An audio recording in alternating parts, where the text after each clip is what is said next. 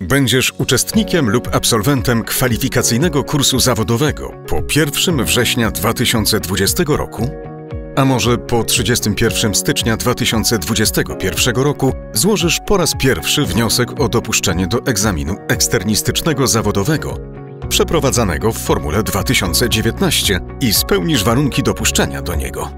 Poznaj kilka ważnych informacji na temat egzaminu zawodowego w Formule 2019.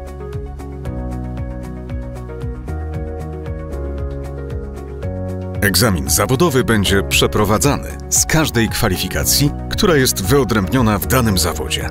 Każda z kwalifikacji ma swoją nazwę i symbol, trzy litery, kropkę i oznaczenie cyfrowe.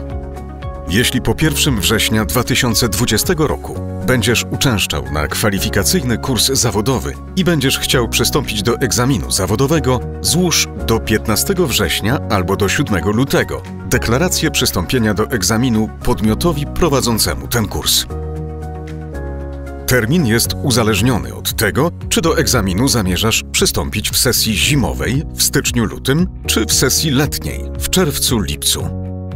Pamiętaj, że Twój kurs musi zakończyć się nie później niż 6 tygodni przed pierwszym dniem terminu głównego egzaminu zawodowego, do którego chcesz przystąpić. Informacje o ukończeniu przez Ciebie kursu podmiot prowadzący ten kurs prześle do Okręgowej Komisji Egzaminacyjnej.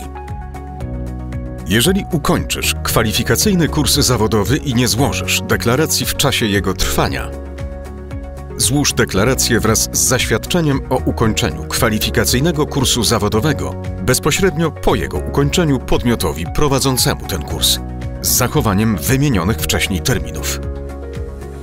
Miejsce egzaminu zostanie wskazane przez podmiot prowadzący kwalifikacyjny kurs zawodowy. Dwa podejścia do egzaminu dla absolwentów kwalifikacyjnego kursu zawodowego są bezpłatne.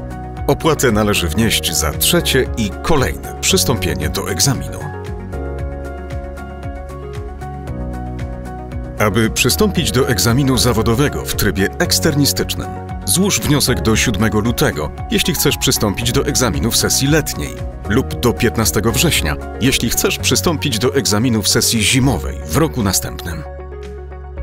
Dokument należy złożyć dyrektorowi Okręgowej Komisji Egzaminacyjnej. Miejsce egzaminu zostanie wskazane przez dyrektora OKE. Pamiętaj, że egzamin eksternistyczny zawodowy jest odpłatny. Szczegółowy harmonogram sesji egzaminacyjnych jest ogłaszany na stronie internetowej Centralnej Komisji Egzaminacyjnej do 20 sierpnia, przed rozpoczęciem roku szkolnego. Dla każdej sesji egzaminacyjnej wyznaczone będą dwa terminy główny i dodatkowy. Uwaga!